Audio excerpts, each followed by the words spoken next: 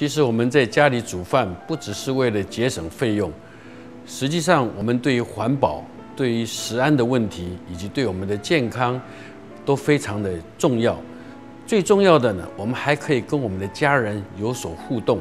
在厨房、在家的时间，我们可以有更多的互动，这个不是用金钱可以换来的。所以，我们希望呢，所有的消费者在他的家以及他的厨房，能够有花更多的时间、精力以及金钱来投资在他所谓的家庭生活当中。